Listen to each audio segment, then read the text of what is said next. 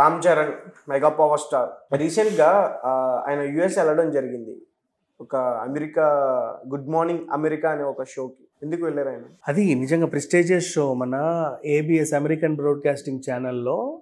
మంచి ప్రజాదరణ పొందిన టాక్ షో అంట వరల్డ్ వైడ్గా అంతకుముందు మనకు ఓప్రా విన్ఫ్రే టాక్ షో ఉండేది పెద్దది వరల్డ్ వైడ్గా అలా ఈ- ఈవిడది కూడా ఇప్పుడు మైకేల్ దాని హోస్ట్. ఎక్సలెంట్ మంచి షో అది. ఇప్పుడు మొన్న మనకి అన్స్టాపుల్ ఎంత హిట్ మన తెలుగు రాష్ట్రాల్లో.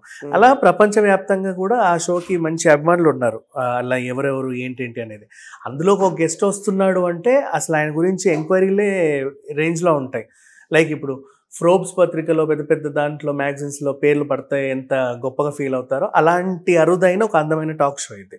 సో అందులోకి రామ్ చరణ్ గారికి అంటే ట్రిపుల్ ఆర్ హిట్ అయింది కదా అంటే ఐ మీన్ దానికి నాట్ నాట్ సాంగ్ అనేది మొన్న ఆస్కార్ నామినేషన్స్లో ఉంది మ్మ్. దానికోసం అని చెప్పేసి వాళ్ళు పిలవడం జరిగింది కాకపోతే ఒక చిన్న ఇది ఇప్పుడు చిరంజీవి గారు షేర్ చేసుకున్నారు ట్విట్టర్లో పుత్రోత్సాహం అంటే నా సన్ని Hmm. ప్రెస్టేజియస్ షోలో ఇండియా నాకు చాలా గర్వంగా ఉంది రకంగా చెప్పుకొచ్చారు తెలుగు ఇండస్ట్రీ చరణ్ గారు ఎందుకు వెళ్ళారు? ఎన్టీఆర్ గారు ఎందుకు వెళ్ళలేదు? అదే అదే ఎన్టీఆర్ గారు కూడా వెళ్ళుంటే బాగుండేది ప్రజెంట్ తారక రత్న గారిది ఉంది కదా అందుకని చెప్పి ఆయన వెళ్ళలేకపోయాడు. బట్ ఏదేమైనా ఇద్దరు వెళ్తే బాగుండు అనేది నాకు అనిపించింది ఎందుకంటే క్రెడిట్ అంతా.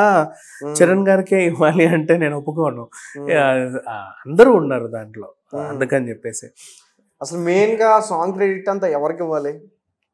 స్టెప్ బై స్టెప్ మాట్లాడుకుంటే సాంగ్ క్రెడిట్ ఎవరికి ఇవ్వాలి ఇవ్వాలి అనుకున్నా కూడా ఇప్పుడు దాంట్లో మేజర్గా ఆర్టిస్టులు డైరెక్టరు మ్యూజిక్ డైరెక్టరు కొరియోగ్రాఫరు ఈ విధంగా చూసుకుంటే అండ్ రాసిన చంద్రబోస్ గారు.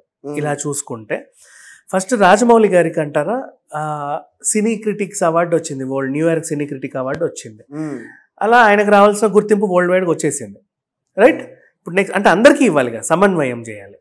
నెక్స్ట్ గోల్డెన్ గ్లోబ్ అవార్డ్స్ ఏమో కీరవాణి గారు అందుకున్నారు. ఆయనకు వచ్చింది. అండ్ పైగా అది ఇచ్చినందుకు మనకు కూడా అదే టైంకి పద్మ పురస్కారం కూడా ఇచ్చారు పద్మశ్రీ ఇచ్చారు. ఆ రకంగా ఓకే. కీరవాణి గారికి కూడా ఒక గుర్తింపు దక్కింది. అండ్ నెక్స్ట్ ఆస్కార్ అట్లీస్ట్ ఇక్కడ వెళ్ళకపోయినా ఆస్కార్ నామినేషన్లో బెస్ట్ యాక్టర్గా అట్లీస్ట్ అక్కడి వరకు వెళ్ళాడు కదా జూనియర్ ఎన్టీఆర్ సో పైగా చాలా మంది ఆయన గురించి కూడా మాట్లాడుకున్నారు. అంటే అట్లీస్ట్ నామినేషన్ వరకు వెళ్ళాడు. గుర్తింపు అయితే వచ్చింది కదా. అలా జూనియర్ ఎన్టీఆర్ కూడా వచ్చింది. నెక్స్ట్ ఇంకా మిగిలింది ప్రేమ్ రక్షిత్ గారు. ఇప్పుడు నిన్న రాజమౌళి గారు ఏమన్నారంటే ఈ గుర్తింపు మొత్తం ప్రేమ్ రక్షిత్కే ఇవ్వాలి. ఆయన చాలా బాగా కొరియోగ్రాఫ్ చేశాడు. అండ్ అలాగే ఆ ఒకరి మీద ఒకరు ఎత్తుకొని ఫైట్ చేసేది ఉంటుంది కదా. బాగా ప్రమోట్ అయింది స్టెప్ అయినా ఫైట్స్లో కూడా చెప్తున్నా. ఒకరి మీద ఒకరు ఎత్- ఎత్తుకొని ఒక ఫైట్ సీన్ ఉంటది కదా. దాన్ని కూడా ప్రేమ్ రక్షిత్ కొరియోగ్రాఫ్ చేశాడు అంతకుముందు అలాంటి ఫైట్ వేరే సినిమాల్లో మనం చూసాం. ఉన్నా కూడా చేశాడు కదా. క్రెడిట్ ఇవ్వాలి కదా. దాని ఉంది. మీరు స్టైల్ సినిమా చూసారా? మన లారెన్స్ది. లారెన్స్. అవును. కాకపోతే ఇక్కడ ఫైట్ అక్కడ డాన్స్ అలాగే జగపతి బాబు గారు అర్జున్ గారు ఒక మూవీ చేశారు. హనుమాన్ జంక్షన్ హనుమాన్ జంక్షన్ అవును. లాస్ట్ ఫైట్ అందులో జగపతి బాబు గారు కాళ్ళు రెండుకి గాయాలు అవుతే అర్జున్ ఆయన ఎత్తుకుని ఫైట్ చేస్తాడు లాస్ట్లో ర- రాజమౌళి గారి ప్రతి సినిమాలోనూ కూడా ఏదో ఒకటి పాత సినిమాల ప్రభావం ఉంటది అది ఒప్పుకొని తీరాల్సిందే బట్ ఏదేమైనప్పటికీ కూడా. ఆయన చెప్పాడు ప్రేమ్ రక్షిత్ గారు ఇలా కొరియోగ్రాఫ్ చేశాడు ఇది మ్మ్. సాంగ్ వరకు క్రెడిట్ ఆయనకి ఇస్తే ఓకే బట్ ఆ ఫైట్కి క్రెడిట్ ఆయనకి ఇస్తే నేను కదా జనాలు ఒప్పుకోరు ఎవరు ఒప్పుకోరులే కానీ ఏదో రాజమౌళి గారు అంటే అందరికీ గుర్తింపు వస్తుంది కదా ఈయనకు కూడా ఇవ్వాలి అని చెప్పేసి ఆయన అలా అన్నారు. సరే ఏదేమైనప్పటికీ ప్రేమ్ రక్షిత్కి వరల్డ్ వైడ్ గుర్తింపు రాకపోయినా రాజమౌళి గుర్తించాడుగా. చాలు ఇకపోతే మిగిలింది రామ్ చరణ్ తేజ. రామ్ చరణ్ తేజకి నటుడు కేటగిరీలో అవార్డు రాకపోయినప్పటికీ. ఫర్ ఈ ఇంటర్వ్యూ వచ్చింది. ఇది అండ్ ఇంకొక గుర్తింపు కూడా వచ్చింది. ఏంటంటే మనకి అవార్డు తీసుకోకపోయినప్పటికి కూడా అవార్డు ప్రజెంట్ చేయొచ్చుగా. ప్రజెంటేషన్ అంటే సి ఫర్ ఎగ్జాంపుల్ ఒక అవార్డుని పలానా ఆయనకు ఒక అవార్డు వచ్చింది. ఇది ప్రజెంట్ చేయడానికి పలానా మనిషి వస్తున్నారు అంటారు. అది కూడా గుర్తింపే కదా. ప్రజెంట్ చేసేది. సో ఆ రకంగా రామ్ చరణ్ తేజ అక్కడికి ఒక ప్రెజెంటర్కి వెళ్ళాడంట. ఇంకొకరికి అవార్డు ఇవ్వడానికి ఈయన ప్రెజెంటర్కి వెళ్ళాడు. ఓకే. అండ్ ప్రెజెంటర్ ఒకరు వచ్చారు ఇండియా నుంచి పలానా హీరో అంటే ఎవరు ఇతను అని చెప్పేసి ఆ క్యూరియాసిటీతో ఏబిఎస్ వాళ్ళు ఆయన్ని ఇంటర్వ్యూ చేయడం జరిగింది. గతంలో మన ఇండియా నుంచి ఎవరో ఆ షోకి ఎవరో. జరగలేదా? అంటే. బాలీవుడ్ గానీ Tollywood. First time Ram Charan. గారు వెళ్ళారు. అవును. అరుదైన గుర్తింపే దక్కింది ఆ విధంగా. అందుకే ఎంత హైలైట్ అవుతుందా?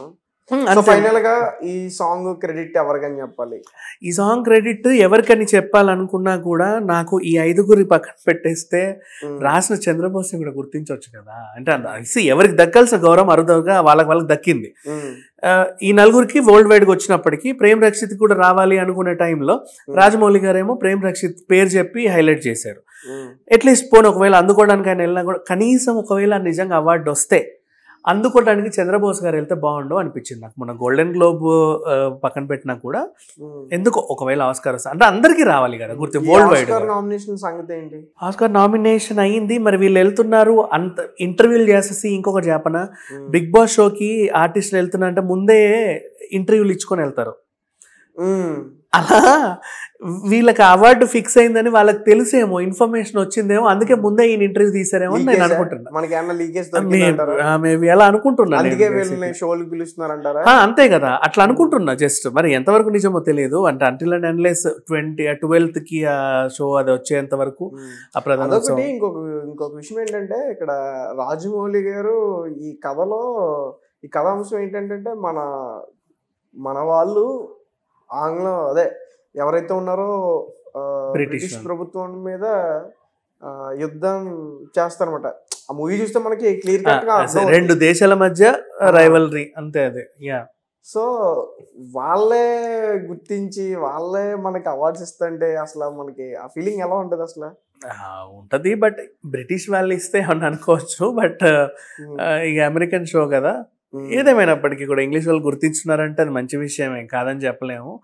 బట్ ఓవరాల్గా చెప్పాలంటే ఇప్పుడు రామ్ చరణ్కు రావాల్సిన గుర్తింపు అయితే వచ్చింది. నాకున్న చిన్న ఇదేంటంటే చంద్రబోస్ గారికి ప్రేమ్ రక్షిత్ గారికి కూడా వరల్డ్ వైడ్గా ఏదైనా వస్తే బాగుండు అనుకుంటారు. ఎందుకు వరల్డ్ వైడ్గా వీళ్ళకి ఎందుకు ప్రమోషన్ లేదు?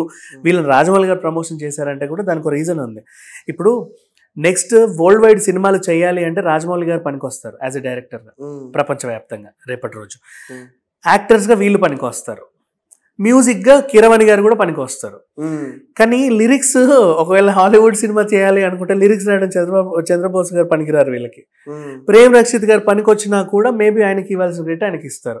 సో వరల్డ్ వైడ్గా మార్కెట్ రేపటి రోజు నెక్స్ట్ సినిమాకి పెంచుకునే క్రమంలో వీళ్ళు ఎవరి ప్రమోషన్స్ వాళ్ళు చేసుకుంటున్నారు బట్ ఓవరాల్ అంత బాగానే ఉంది. కానీ ఇప్పటి వరకు చూసుకుంటే చరణ్ గారికి మాత్రం ఈ అరుదైన గుర్తింపు రావడం మంచి విషయమే. ఆ ఇంటర్వ్యూ వచ్చిన తర్వాత మనకి ఇంకా మంచి స్టఫ్ దొరుకుతుంది. వాళ్ళు ఏమేమి ఆసక్తికరమైన క్వశ్చన్స్ అడిగారు అంటే ఆయన లైక్ మన వాళ్ళ గురించి ఆయన ఎంత బాగా చెప్పుకొచ్చారు అక్కడ అని చెప్పి. ఎందుకంటే చరణ్ మీద ఒక చిన్న రిమార్క్ ఉంది రీసెంట్ డేస్లో నిన్న ప్రీ రిలీజ్ ఈవెంట్ ఆ ప్రీ రిలీజ్ ఈవెంట్లో రవితేజ గారిని అలా మాట్లాడడము రవి రవి అని పేరు పెట్టి పిలిచారు. చాలా మందికి నచ్చలా. బట్ అక్కడికి వెళ్ళినా కూడా ఇప్పుడు సరే మన లోకల్లో అంటే అడ్జస్ట్ అవుతాంలే ఏదో ఒకటి. అక్కడికి వెళ్ళినా కూడా మన వాళ్ళ గురించి ఏమైనా బాగా చెప్తాడా లేదా లేకపోతే ఆయనకు అలవాటైన ధోరణిలోనే మాట్లాడతారనేది చూడాలి.